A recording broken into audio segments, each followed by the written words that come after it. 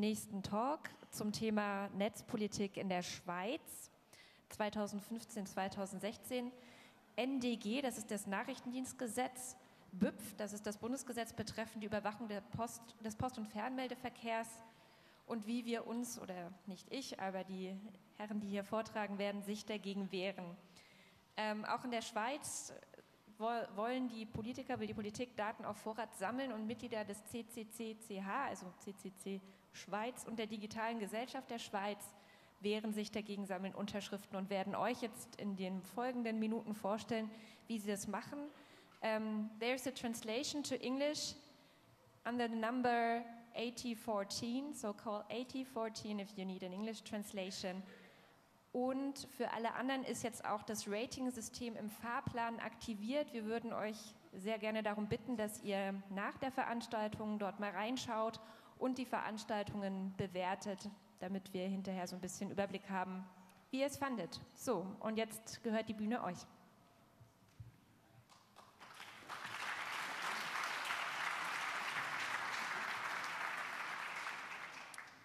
Danke fürs Kommen. Ähm, wir haben, wie gesagt, den Netzpolitik in der Schweiz Vortrag.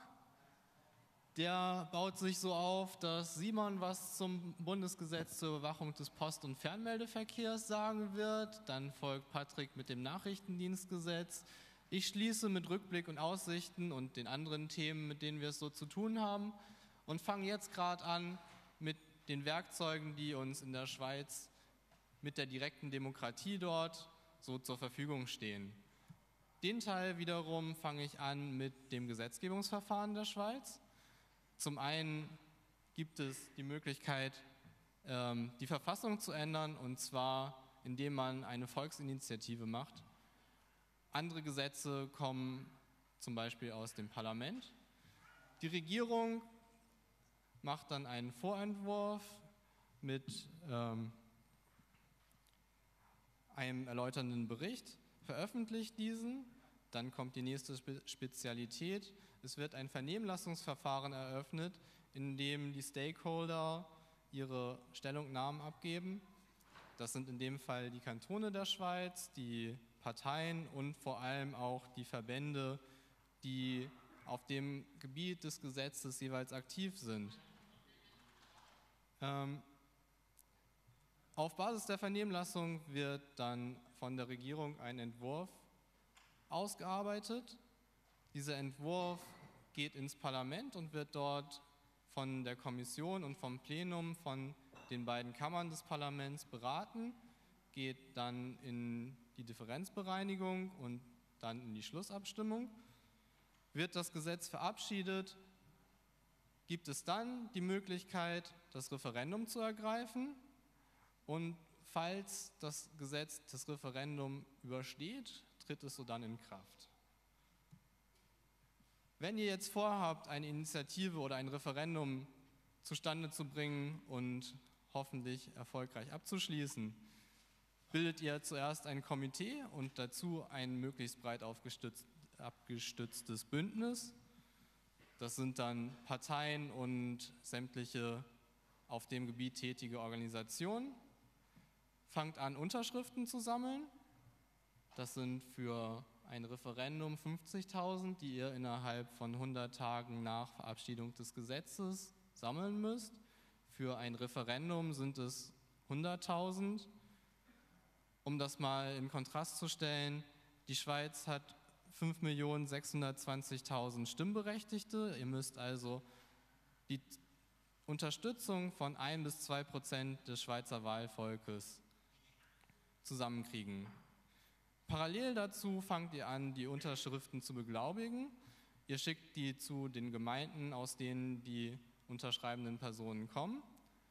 Und diese bestätigen dann euch die Echtheit und die Möglichkeit der Person, tatsächlich das, zu, das Vorhaben zu unterstützen. Kurz vor Ende eurer Frist reicht ihr dann die Initiative, das Referendum bei der Bundeskanzlei ein. Das bestätigt euch dann hoffentlich, dass euer Anliegen zustande gekommen ist. Und dann geht es in den Abstimmungskampf. dann müsst ihr wirklich die Mehrheit der Schweizer Bevölkerung davon, von eurem Vorhaben überzeugen. Abschließend gibt es die Volksabstimmung, genauso wie bei einer Wahl ist dann die Frage, ob, der Sache, äh, ob die Sache eine Mehrheit kriegt. Für ein Referendum braucht ihr die absolute Mehrheit. Für eine Initiative braucht ihr sowohl die absolute Mehrheit als auch die Mehrheit in der Mehrheit aller Kantone. Volksabstimmungen sind absolute Normalität in der Schweiz. Ähm,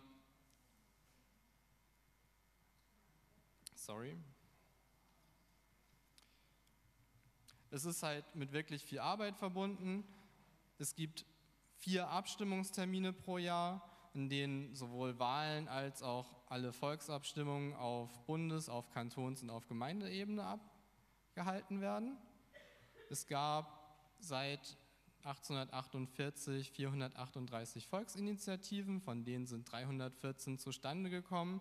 200 von denen wurden abgestimmt, die sonstigen wurden zurückgezogen wurden als erledigt abgetan, für ungültig erklärt oder werden noch abgestimmt. Und von diesen 200 wurden lediglich 22 angenommen. Bei den Referenten sieht es so aus, dass in der letzten Legislaturperiode 10 abgehalten wurden, abgestimmt wurden und von diesen waren vier erfolgreich. Abgestimmt werden sämtliche Änderungen der Verfassung, aber auch internationale Verträge. Anmerkung hier, die Schweiz ist nicht beim TTIP dabei, aber solche Sachen halt. Ähm, und dann halt Volksinitiativen und Referenten. Das schafft den abgestimmten Sachen sehr hohe Legitimität, hat als Tendenz, dass es eine gewisse Zurückhaltung gibt, was äh, Gesetzesvorlagen angeht, denn es werden dann halt keine oder weniger Macht bei denen, die, die in der Mehrheit der Gesellschaft keine Chance haben, weil es einfach immer die Möglichkeit gibt, das Referendum zu ergreifen.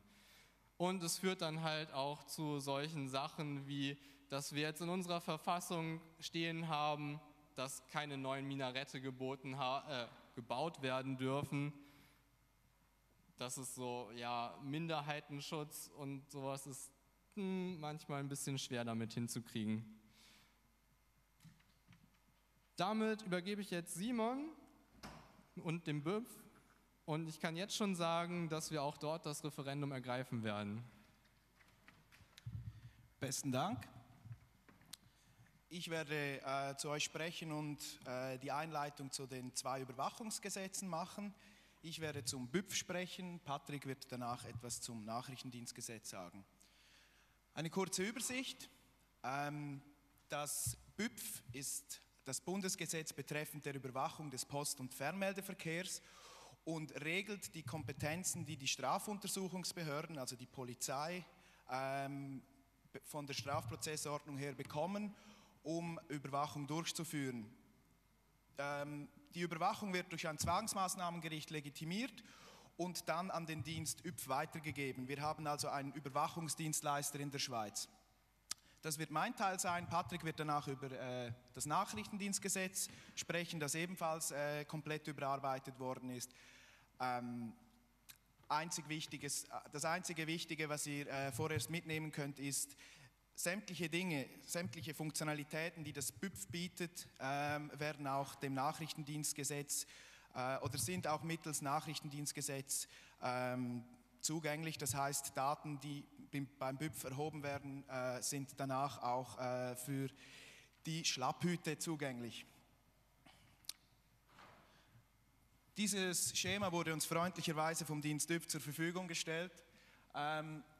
Ganz oben seht ihr die Justitia, das ist äh, das Symbol für das Zwangsmaßnahmengericht. Ein Zwangsmaßnahmengericht bewilligt eine Überwachungsmaßnahme. Diese Überwachungsmaßnahme wird vom Dienst ÜPF nochmals formell äh, geprüft. Dann wird diese Überwachungsmaßnahme an, den, an die Fernmeldedienstanbieterin geschickt. Man könnte auch einfach Provider sagen. Ähm, dieser Provider leitet das Ganze dann über ein sicheres Transportnetzwerk aus in äh, das Auftragsverwaltungssystem. Der Hersteller dieses Auftragsverwaltungssystems ist geheim. Ähm, für alle, die es interessiert, können gerne mal die Firma Verint auf Bugged Planet nachschauen. Ähm, gut, dieses Überwachungssystem, dieses äh, Auftragsverwaltungssystem ist die zentrale Schnittstelle zwischen einerseits den Providern und zum anderen den glücklichen äh, Strafverfolgungsbehörden, die dann auf ihren Case zugreifen können. Das ist die Mechanik dahinter. Welche Daten werden überwacht? Ähm, die Basis äh, sämtlicher Überwachungsmaßnahmen der Polizeibehörden sind in der Strafprozessordnung geregelt. Konkret äh, kommt beim neuen Gesetz der Staatstrojaner dazu, allerdings ein Staatstrojaner Light. Hier sind äh, nur Telekommunikationsdaten betroffen. Ähm, ausschweifende Bemerkungen, äh, wie ein Trojaner funktioniert, dass der administrative Privilegien hat und somit diese Einschränkung ähm, zumindest die Überprüfung dieser Einschränkung relativ schwierig ist, wenn solange der Code nicht offen ist. Des Weiteren äh, kommt ein IMSI-Catcher dazu. Das ist auch eine, eine Neuheit. Es gibt bereits heute einzelne Behörden, die sich solche Geräte angeschafft haben, äh, trotz der unklaren Gesetzeslage. Im, zu Beginn dieses Jahres ist ein Foliensatz der Zürcher Strafverfolger aufgetaucht, wo man sich damit brüstet, dass man ja auch direkt ein Kabel an den, an den Server hängen könnte und die Daten dort drüber abgreifen äh, könne. Ähm, eine kleine Anmerkung, äh, es, wurde, es wurde erfreut festgestellt, dass äh, bei der Serverüberwachung man die Dienstleistungen des Dienst YPS nicht äh, gebraucht. Aus unserer Sicht relativ stoßend ist, wenn man einen, einen, Server hat und dort mehrere virtuelle Instanzen drauf sind, sind natürlich die anderen Kunden, die nicht überwacht werden sollten, ebenfalls betroffen. Zu guter Letzt äh, regelt die Strafprozessordnung das sogenannte BÜPF, also ähm, der detaillierte Mechanismus, wie zwischen den Strafverfolgern und den Providern, ähm, wie dieser Prozess abläuft. Dann ähm, kommen wir zu der Echtzeitüberwachung. Also die Echtzeitüberwachung ist Echtzeit oder nahezu Echtzeit. Das ist der Strafverfolger, der dann auf das System zugreift. Dieses System kennen wir seit etwa, ich sage mal, seit über zehn Jahren. Die Vorratsdatenspeicherung kennen wir im Gegensatz zu Deutschland auch schon äh, eine ganze Weile. Ähm, ursprünglich wurde im Gesetzesvorschlag der Regierung, wollte man zwölf Monate fordern. Aufgrund des Drucks ähm, die Drohung eines Referendums gegen das BÜPF stand im Raum, hat die Justizministerin dann einen Abstrich gemacht. Wir belassen die Vorratsdatenspeicherung auf sechs Monaten. Äh, aus unserer Sicht ist das nicht tragbar, weil ob es sechs Wochen, sechs Monate oder sechs Jahre sind, ist schlussendlich ja irrelevant. Äh, solange Daten auf Vorrat gespeichert sind, äh, sind wir unzufrieden damit. Ähm, wie gesagt, es fehlt, äh, es fehlt auch eine, eine, eine Begründung, ähm, wieso das ähm, also zum einen fehlt, fehlt, fehlt, eine, fehlt, eine, Begründung, um Daten auszuleiten und zum anderen äh, ist, sind auch äh, Berufsgeheimnisse nicht gewahrt. Ich denke da an Anwälte oder an, ähm, an Mediziner oder Seelsorger. Des Weiteren kennen wir die Funkzellenabfrage. In der Schweiz nennen wir diesen einfach Antennensuchlauf. Das ist ein, ein Dump ähm, aller Transaktionen einer Antenne für einen bestimmten Zeitraum. Ähm, das sind die Arten der Vorratsdatenspeicherung oder im Behördensprech rückwirkende Überwachung, die wir in der Schweiz kennen. Eine, eine ziemlich stoßende Änderung am neuen Gesetz ist der persönliche Geltungsbereich. Bisher waren ähm, rund 50 Access Provider, reine Access Provider, die dem Kunden Internet aus der Dose bringen, äh, dazu angehalten, Überwachung zu dulden. Neu sind es, wie ihr hier seht, äh, auch äh, Anbieter abgeleiteter oder interner Kommunikationsdienste. Das äh, kann zur Folge haben, dass wenn ich dem Arian mein Wireless zur Verfügung stelle, ich die Rechnung bezahle, ich unter Androhung von Strafe Überwachung dulden muss, ich darf, nichts, ich darf ihm nichts sagen, ähm, das stört unser Vertrauensverhältnis doch immens. Die Details, äh, wer genau ein abgeleiteter Kommunikationsdienst mit einer gewissen Reichweite und Bedeutsamkeit hat, regelt die Regierung. Kurzum, Viel, viel mehr Betriebe, zum Beispiel Trima ist auch so ein Fall, das ist eine Schweizer Firma, ein sehr beliebtes Tool in Deutschland, die würden dann unter, äh, unter die abgeleiteten Kommunikationsdienste fallen.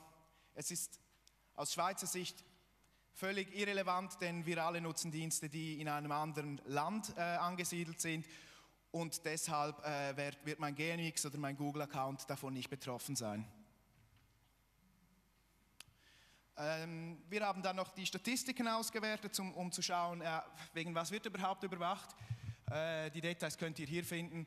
Kurz, äh, Drogenhandel und Vermögensdelikte, wie zum Beispiel ein einfacher Diebstahl, sind zuoberst auf der Rangliste. Zuunterst auf der Rangliste finden wir kriminelle Organisationen, Terrorismus oder Pädokriminalität.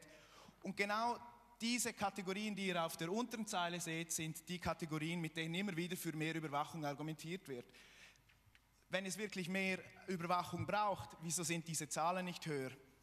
Ähm, ich möchte auch noch kurz anmerken, dass wenn wir nachher zum Nachrichtendienstgesetz kommen, geht es ja darum, präventiv zu überwachen, also zu überwachen, ohne dass eine Straftat vorliegt. Die Vorbereitungshandlungen an der kriminellen Organisation, die Vorbereitungshandlungen von terroristischen Akten sind ebenfalls bereits heute nach dem normalen Strafgesetzbuch stehen diese unter Strafe. Die könnten also sehr wohl bereits heute durch die Bundesanwaltschaft verfolgt werden. Dann noch zu guter Letzt ähm, haben wir diese Daten auch noch ähm, visuell aufgearbeitet fürs Web. Der Kickoff fand vor einem guten Jahr hier am Kongress statt. Wenn ihr also die Statistiken mal klicken wollt, wollt dann findet ihr hier den Link. Dann noch ein paar Betrachtungen aus Grund- und Menschenrechtssicht. Die Vorratsdatenspeicherung ist ein, ein, ein Eingriff in, in, die Privatsphäre. Sie unterscheidet nicht äh, zwischen Schuldigen und Unschuldigen. Wir alle sind davon betroffen. Dagegen hat die digitale äh, Gesellschaft bei dem Dienst ÜPF Beschwerde eingereicht. Konkret geht es darum, dass wir angefragt haben, ob man die äh, Vorratsdatenspeicherung für Einzelpersonen nicht unterlassen könnte. Ähm, dieser Bitte ist man nicht nachgekommen. Derzeit sind wir am Bundesverwaltungsgericht hängig. Dort kam vor ein paar Wochen ein Brief und dieser Brief äh, hat uns mitgeteilt, dass statt der üblichen drei Richter sich nun fünf Richter äh, mit diesem Thema befassen, was uns zeigt, dass man sich mit dieser Frage ernsthaft befassen will. Wir rechnen allerdings nicht damit, dass ähm, unser Bundesverwaltungsgericht die Vorratsdatenspeicherung kippen wird und sind daher bereit, auch finanziell bereit, um an den Europäischen Menschenrechtsgerichtshof nach Straßburg zu ziehen. Wir erinnern uns vor 2014 gab es äh, einen Fall, als äh, das höchste österreichische Gericht an den Europäischen Gerichtshof gelangt ist und für kurze Zeit die Vorratsdatenspeicherung in Europa ausgesetzt worden ist. Wir, wir erwarten hier ein ähnliches Urteil. Das wird sich allerdings noch hinziehen. IMSI-Catcher und Antennensuchläufe, das sind unsichtbare Identitätsfeststellungen in einem Perimeter, ohne dass ich informiert werde. Bei regulären Überwachungsmaßnahmen, also wenn ich in einem Verfahren verwickelt war, habe ich zumindest theoretisch die Möglichkeit, um äh, darüber informiert zu werden. Bei IMSI-Catchern oder Antennensuchläufen ist das nicht der Fall. Beim persönlichen Geltungsbereich das Beispiel mit dem äh, Wireless der Nachbarin zur Verfügung stellen.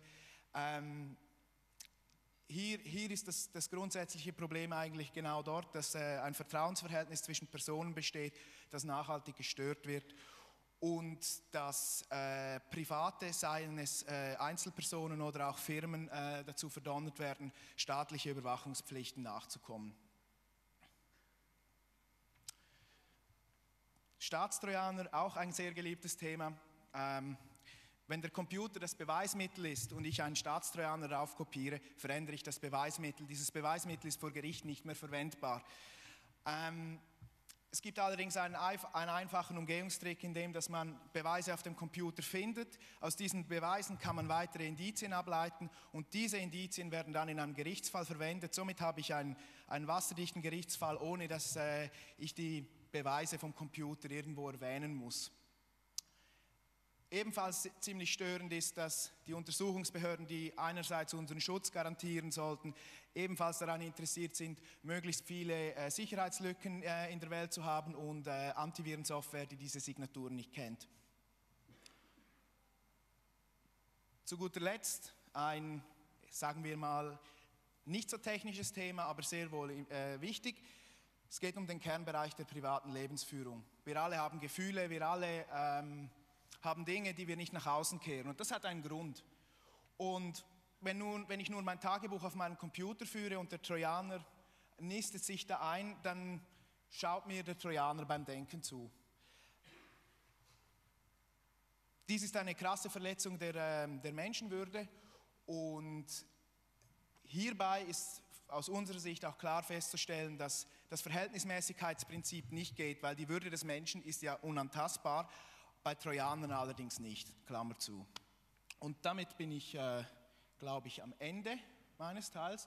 Und nun wird euch Patrick noch etwas über das Nachrichtendienstgesetz erzählen.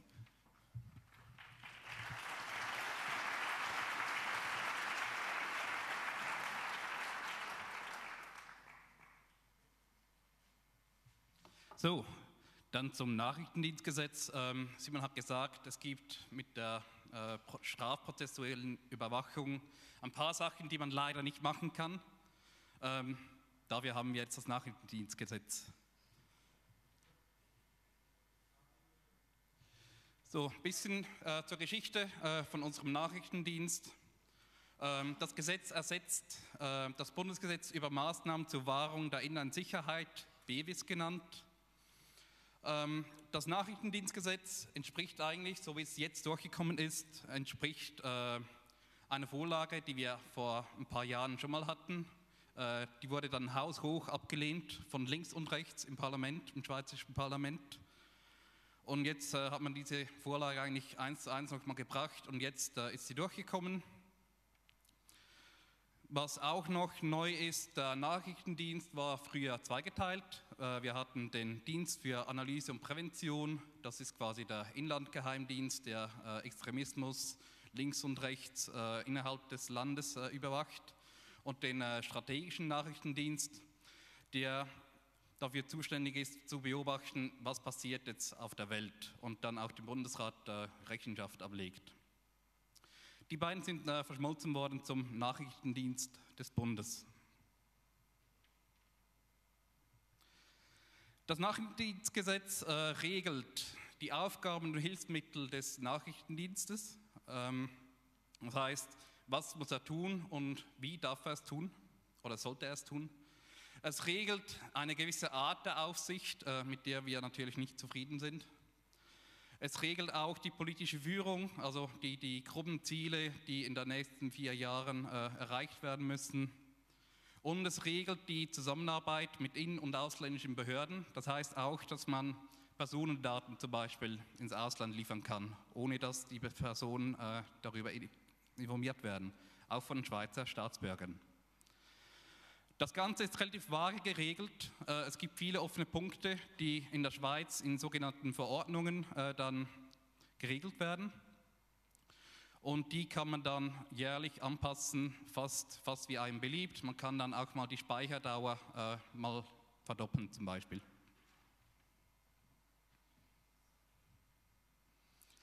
Zu den Aufgaben des Nachrichtendienstes des Bundes laut dem Nachrichtendienstgesetz es ist natürlich äh, Terrorismus verhindern. Ähm, Simon hat euch äh, da schon auf den Konflikt zwischen der Verwaltung und der, äh, der Bundesanwaltschaft und des Nachrichtendienstes hingewiesen. Der Nachrichtendienst muss den Terrorismus bekämpfen und die Bundesanwaltschaft auch. Das heißt, ja, wer macht jetzt das? Und das gibt garantiert Abspracheprobleme und so weiter dann sollte er den verbotenen Nachrichtendienst äh, bekämpfen in der Schweiz. Ich glaube, das Letzte, was wir gehört haben, ist, äh, dass man gesagt hat, ah, Snowden kann nicht in die Schweiz kommen, weil er hat ja spioniert in Genf. Darum können wir ihm jetzt leider kein Asyl anbieten. Er ist ein Krimineller. Äh, alle anderen Geheimdienste lassen sie in der Schweiz machen, was sie wollen. Dann zur Aufgabe gehört es auch, äh, nuklear, biologische und chemische Waffen äh, zu verhindern, dass die ausgeführt, eingeführt, äh, verbreitet, Pläne verbreitet, Wissen verbreitet wird. Und außerdem ein sehr schwammiger Begriff, äh, Wahrung der inneren Sicherheit, was auch immer das dann heißt.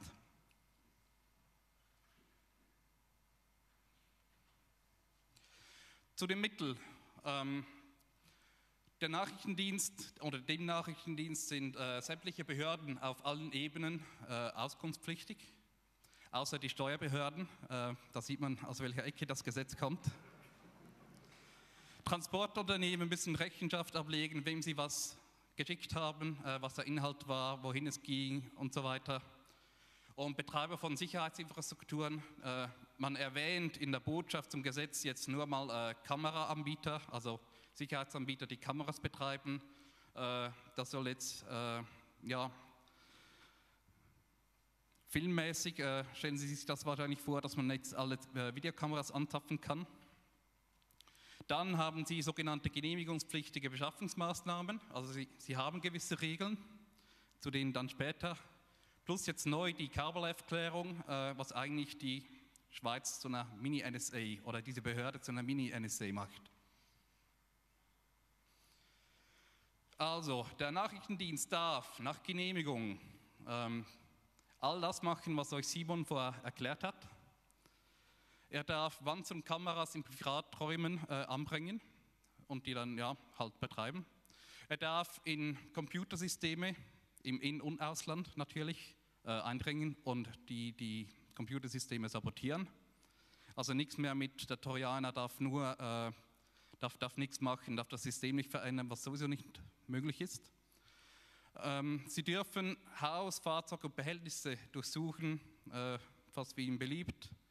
Und sie dürfen die Ortung mittels IMSI-Catcher, also Überwachung von, von Demonstrationen zum Beispiel, und äh, Feststellung der Koordinaten mittels GPS-Systemen äh, durchführen.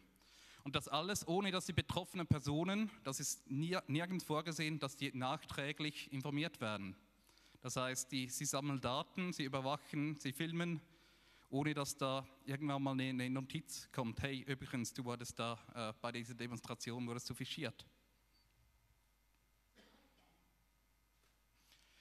Jetzt, es gibt gewisse Hürden, ähm, man muss einen Antrag stellen ans Bundesverwaltungsgericht. Ähm, das ist dort, wo wir im Moment mit der Klage gegen die Vorratsdatenspeicherung stehen.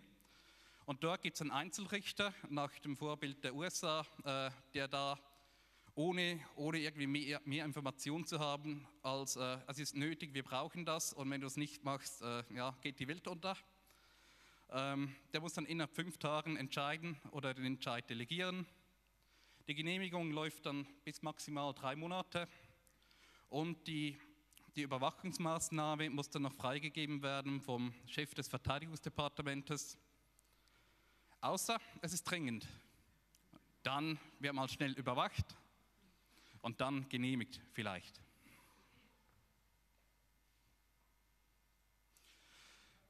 Was wir jetzt schon haben, ist die Funkaufklärung. Ähm, das ist eben Wallis, eben im Süden der Schweiz.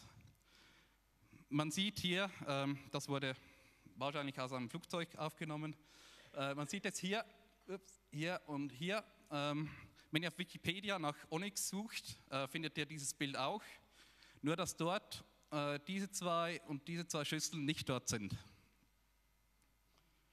Das Ganze äh, soll 90 Millionen gekostet haben. Äh, das Parlament hat quasi nichts davon gewiss, gewusst. Die Stellungnahme des Verteidigungsdepartements war, ja, wir müssen einfach die Kapazität gleich behalten, gleich hoch behalten. Das ist kein Ausbau der Überwachung mit vier neuen Schüsseln. Und das ist nur ein Standort. Es gibt noch andere Standorte und dort wurden bis zu sechs neue Schüsseln installiert. Bei der Funkaufklärung ist es so, dass man Daten, die äh, bei denen mindestens ein Teilnehmer äh, im Ausland ist, die dürfen aufgezeichnet werden und nach Selektoren durchsucht werden. Also eigentlich gleich wie, es jetzt äh, beim, beim NSC-Ausschuss in Deutschland äh, so ein bisschen Zoff gegeben hat. Das für Funk, das ist Fax, das ist Iridium, das ist äh, andere Funktelefone und so weiter, vor allem äh, satellitengeschützt.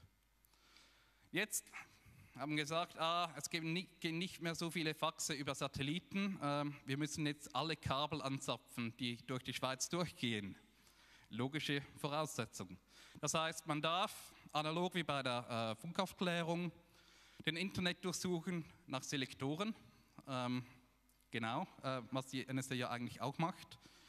Es ist nicht ganz klar, wie lange diese Daten gespeichert werden. Es steht, ah, das regelt dann die Verordnung. Ähm, Da könnte wahrscheinlich dann auch zehn Jahre drin stehen oder noch länger. Ähm, es wurde gewissen, gewisse Budgets schon gesprochen für gewisse Speicherungen, so vermuten wir. Das ist nicht gesichert, aber da wird es sicher noch spannend. Wer sich mal äh, wer sich interessiert, wie diese Selektoren in der Schweiz zustande kommen, es gibt einen Bericht von, das war 2003, glaube ich, 2003, genau, äh, von der Geschäftsprüfungskommission des Nationalrates oder der, der Parlamente. Und der, dort steht zum Beispiel drin, dass pro Themenschwerpunktgebiet ähm, zum Teil bis zu zehn Seiten mit, mit 25 Begriffen drauf sind, das heißt, oder 100 Seiten. Irgend so 2500 Begriffe nur für äh, das Thema, Thema ABC-Waffen. Also das nur für ein Thema und äh, der Geheimdienst hat noch ein paar andere Schwerpunkte. Ähm, Links- und Rechtsextremismus zum Beispiel, äh, wo es auch jedes Jahr einen Bericht gibt vom Geheimdienst, kann man nachlesen, äh, ist öffentlich.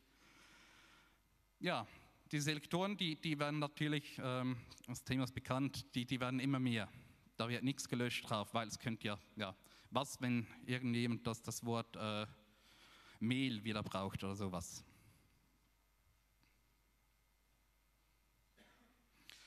Zu den Gegenmaßnahmen. Dieses Gesetz wurde verabschiedet dieses Jahr. Ähm, jetzt haben linke Parteien, die Piratenpartei und Grundrechtsvereine das Referendum ergriffen, wie euch das äh, Ari gesagt hat. Wir haben bis jetzt 59.000 Unterschriften gesammelt, die sind aber noch nicht zurückgekommen. Das heißt, da gehen noch mindestens 10% weg und ein paar gehen noch weg, äh, weil die Gemeinden halt langsam arbeiten und sagen, ja, wir haben halt vier Wochen, um diese Unterschriften zu prüfen in unserem Register, auch wenn es nur zwei sind. Ähm, trotzdem sind wir verhalten optimistisch, äh, dass es zustande kommt und die Abstimmung wird dann frühestens im Sommer 2016 sein. Dort haben wir allerdings das Problem, ähm, dass die im Gegensatz zum BÜPF dass nachrichtendienstliche Überwachung äh, den Unternehmen, wenn die Daten ausleiten müssen, äh, vollständig vergütet wird. Das heißt, die Wirtschaftsverbände haben da nicht so Interesse dran, äh, sich da finanziell zu beteiligen an diesen Wirtschaftsthemen. Also wir können jede Unterstützung brauchen im Abstimmungskampf. Ähm, registriert euch, wir haben einen Newsletter auf nachrichtendienstgesetz.ch. Tragt euch da ein und äh, wir werden euch da auf dem Laufenden halten, auch was äh, das BIPF ähm, betrifft, das dann voraussichtlich im wann ist das? März, März, Ende April äh, zur Schlussabstimmung kommen wird. Da werden wir euch natürlich auch noch informieren darüber. Jo, und jetzt wird euch Ari noch ein bisschen was äh, über die Zukunft erzählen.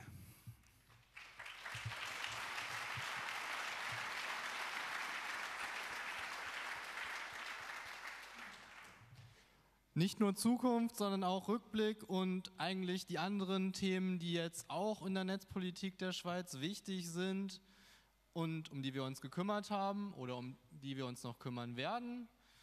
Es gab einmal die Netzneutralität. Da ist natürlich der Hauptschauplatz ähm, Videostreaming bzw. Peering zwischen Providern. Es hilft da nicht so ganz, dass die großen ISPs der Schweiz auch noch eigene Videostreaming-Angebote haben. Es ist gerade in Revision das Fernmeldegesetz. Balthasar Glättli hat äh, eine Motion gestartet, um genau die Netzneutralität ins Fernmeldegesetz reinzubringen. Die große Kammer des Schweizer Parlaments hat das gut gehießen, das ist der Nationalrat. Die kleine Kammer war aber vehement dagegen und die Regierung, der Bundesrat hat das auch klar abgelehnt. Damit ist die Motion gescheitert und damit ist dann auch absehbar, dass in den nächsten Jahren keine gesetzliche Unterstützung zu erwarten ist, was die Netzneutralität angeht. Mehr zum Thema könnt ihr im Talk 7530 erfahren. Da hält Freddy Künstler vom Provider Init 7 einen Talk zur Netzneutralität. Urheberrechtsgesetz ist die nächste Baustelle. Es hat 2012 dazu eine Arbeitsgruppe gegeben unter dem Titel Maßnahmen gegen, äh, zur Bekämpfung der Online-Piraterie und genau wie das sich anhört, ist es dann auch geworden. Aktuell ist es in der Vernehmlassungsphase. Das heißt, es gibt genau hier gerade die Möglichkeit mitzuwirken. Der Vorentwurf beinhaltet Three Strikes, Takedown, Staydown, Netzsperren, wobei die auch schon weiter im Gesetz fortgeschritten sind, nämlich im ähm, Glücksspielgesetz. Das Interessante dabei ist, dass die Sperrlisten in beiden Gesetzen vorgesehen sind, öffentlich zu führen. Also wir werden da tatsächlich Einblick kriegen, falls es durchkommt, was denn so gesperrt ist. Und das nicht nur inoffiziell. Fernmeldeverordnung. Wir haben in der Schweiz tatsächlich eine Internetgrundversorgung mit ab 2018 3000 Kilobit Downstream, 300 Kilobit Upstream garantiert für 27 Franken 20 im Monat. Die Downside daran ist, dass mit der neuen Fernmeldeverordnung ähm, das Modem im Preis enthalten ist und dann so auf Verordnungsebene die Möglichkeit besteht, dass es da zu einem Routerzwang kommt. Ganz großes Thema Datenschutz. Äh, in der Schweiz gibt es die Stelle des eidgenössischen Datenschutz- und Öffentlichbeauftragten. Die war vorher mit Herrn Thür besetzt. Jetzt gibt es da einen neuen Kandidaten, Adrian Lopsiger, und der hat vorher beim Bundesamt für Polizei, kurz FEDPOL, gearbeitet. Wir sind gespannt, was da rauskommt. Ja, das war's mit unserem Talks. Talk. Danke fürs Zuhören. Einmal unsere Kontakte. Weiter geht's mit einer Diskussion im Anschluss an die Diskussion hier. Und falls ihr ähm, direkt mitwirken wollt, im Saal A2. Slides sind online. Ja, und vielen Dank fürs Zuhören. Ja, vielen herzlichen Dank. Simon möchte noch was ergänzen.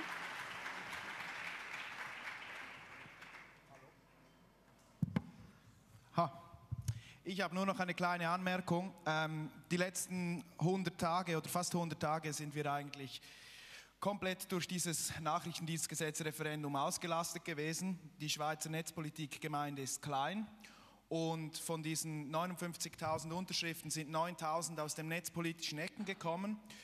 Ähm, und ich möchte einfach allen, die sich in irgendeiner Form an diesem Referendum beteiligt haben, herzlichen Dank sagen. Es ist nicht selbstverständlich, dass die Nerds hinter ihren Computern aus ihren Kellern, Kellern hervorkommen und noch mit fremden Leuten an der Bahnhofstraße sprechen. Herzlichen Dank und ein Dank an Mia, die genau jetzt diese Zeit am Papier sortieren ist, am Endspurt machen, während wir den Kongress genießen. Besten Dank.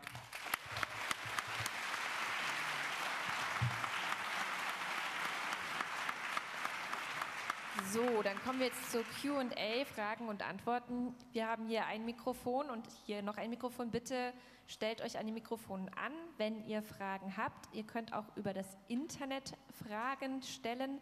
Die werden wir hier auch hören. Also bitte bei Fragen hier vorkommen und die Fragen stellen. Vielen Dank nochmal an Simon und Arian und Patrick für die gute Einführung in was passiert eigentlich gerade in der Schweiz. So, Frage Nummer eins. Zunächst einmal vielen Dank, dass ihr euch die ganze Arbeit macht.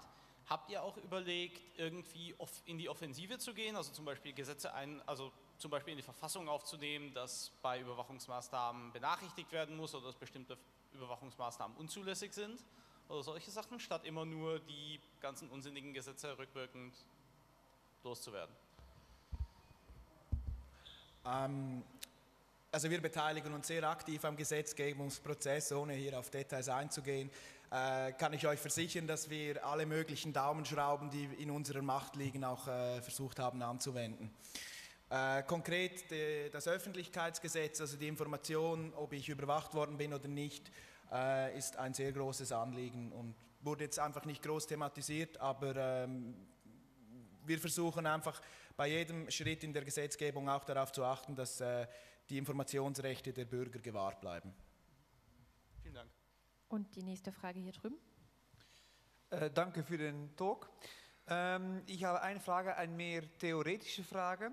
Äh, was würde eigentlich passieren, wenn eine Initiative angenommen äh, würde, die ein äh, Gesetz ähm, vorstellt, der im, ähm, äh, im Widerspruch ist mit internationalen äh, Verträgen.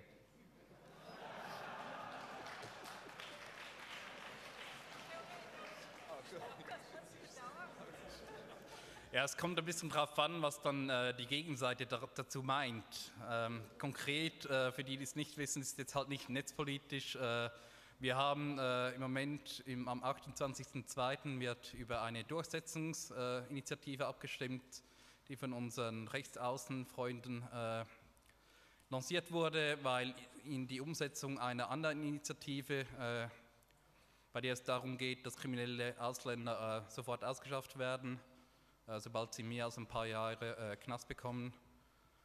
Ähm, und das, diese Durchsetzungsinitiative, die, wird jetzt, äh, die steht im Widerspruch zu den Menschenrechten. Äh, das ist eigentlich allen klar und da wird es spannend. Ähm, zudem haben wir mit, der Personenfreizügigkeit ein bisschen ein Problem mit der EU. Ähm, ist auch eine, die gleiche Initiative eigentlich, dieser, dieser, äh, oder Ne, auch eine Initiative unseren, unserer Freunde rechts außen. Ja, da sind wir mit der EU ein bisschen am, am Verhandeln im Moment oder eben nicht am Verhandeln. Das wird wahrscheinlich sehr hart. Also es wird natürlich erst einmal versucht, die Initiative so auszulegen, dass man immer noch mit dem internationalen Recht irgendwie übereinstimmt. Ähm, ich möchte noch anfügen, dass diese Durchsetzungsinitiative, also das im Prinzip kann, ist heute, kann man jede Idee, wo 100.000 Leute unterschreiben, ähm, vors Volk bringen. Es gibt ganz, ganz wenige Ausnahmen. Zum Beispiel ähm, könnte ich keine Folterinitiative machen, wenn ich das Foltern gut finden würde. Das Problem aus unserer Seite ist, äh, ich habe es vorhin erläutert, wir, äh, wir möchten unsere Beschwerde äh, ans, an den Europäischen Menschenrechtsgerichtshof nach Straßburg weiterziehen. Und das ist ein Problem, denn unsere Konservativen sehen ähm, diesen Menschenrechtsgerichtshof, der unser, bei uns in der Schweiz ist das Volk der Souverän, das Volk entscheidet, das Volk steht über allem. Jetzt gibt es da diese fremden Richter in Straßburg, die äh, Urteile äh, umkippen und das passt denen nicht. Konkret, in der Schweiz haben wir kein äh, Bundesverfassungsgericht wie in Deutschland. Das heißt zum Beispiel, um die Vorratsdatenspeicherung zu kippen, ist das unsere einzige Möglichkeit, um an dieses Gericht zu gelangen, um so eine offizielle Rüge an die Schweiz abzuholen. Ähm, und wenn, wenn auch äh, das nicht zwingende Völkerrecht in der Schweiz immer mehr und mehr bröckelt, sind unsere Grundrechte, äh, werden unsere Grundrechte noch weiter ins Off geschoben.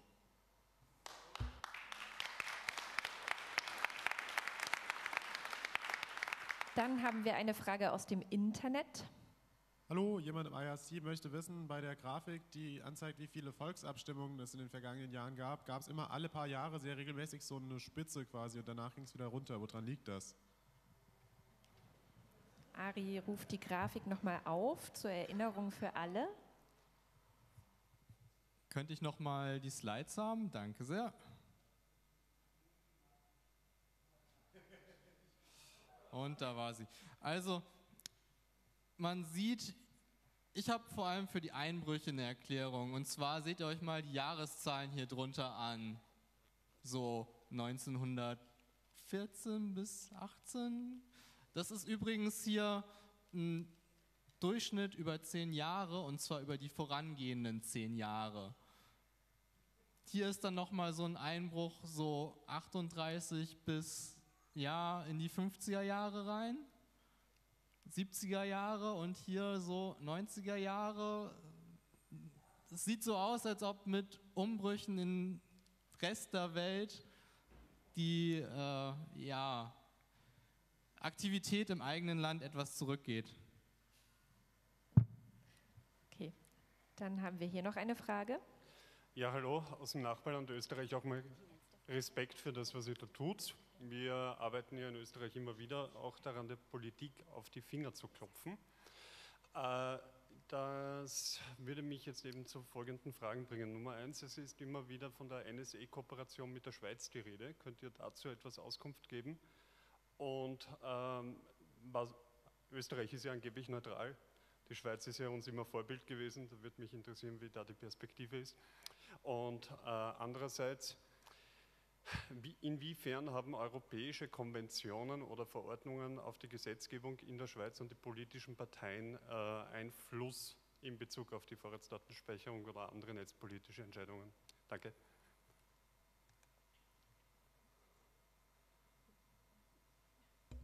Also ähm, wir haben die Vorratsdatenspeicherung, also ich muss vielleicht historisch beginnen. Ursprünglich wurde die Vorratsdatenspeicherung in der Schweiz durch die Hintertür, durch ein, durch ein Memo des Justizdepartements, also das ist eine förmliche Notiz, so wurde die Vorratsdatenspeicherung durchs Hintertürchen in der Schweiz eingeführt. Äh, mittlerweile hat es äh, eine, eine, erste Fassung des BÜPs gegeben und nun eine zweite Fassung. Ähm, ich würde mal aus dem Bauch heraus sagen, äh, viele Einflüsse gibt es nicht. Zu der Frage der Zusammenarbeit von der, äh, der Schweiz mit der NSA, ich möchte hier gerne unseren ehemaligen Verteidigungsminister zitieren, der wortwörtlich gesagt hat, die Schweiz hat keine direkte Zusammenarbeit mit der NSA. Dieses direkt ähm, lässt viel Spielraum für Spekulationen offen. Es gibt die Vermutung, dass, äh, Bundes, dass 2008 ein Operational Working Agreement geschlossen wurde zwischen der Schweiz und Amerika. Über die Details ist nichts bekannt. Ähm, was man vermuten kann, dass es mit der gezeigten Satellitenanlage in Leuk zusammenhängt, dass die Schweiz als neutrales Land im Dienste äh, kriegsführender Nationen steht ohne hier auf die Details einzugehen. Also die Schweiz wurde ja auch, äh, war ganz klein mal auf dem Snowden-Dokument drin, äh, auf der Liste der erweiterten Staaten oder der Staaten mit der bisher erweiterter äh, Kooperation. Danke. Dankeschön. Ich sehe jetzt hier im Raum keine weiteren Fragen. Gibt es im Internet noch Fragen? Auch nicht. Dann würde ich sagen, recht herzlichen Dank, einen herzlichen Applaus auch für die netzpolitische Arbeit in der Schweiz. Und vielleicht können wir noch mal die Folien haben, denn wer mit den Jungs hinterher noch ein bisschen diskutieren möchte, könnt ihr noch mal die Folien anwerfen? Geht das noch mal? Ähm, da sind sie. Da findet ihr dann den Raum, die Raumnummer noch mal angezeigt. Genau, Halle A2 auf der ersten Ebene. Ja, herzlichen Dank. Und wer jetzt ähm, Wer jetzt immer noch, äh, immer noch nicht unterschrieben hat fürs Referendum, das ist immer noch möglich, äh, vor allem wenn er aus einer, aus einer einigermaßen großen Stadt kommt. Äh, die Unterschriften, die können wir noch äh, einsammeln. Äh, es hat bei den Ausgängen zwei Leute, äh, bei denen dürft ihr gerne unterschreiben. Danke.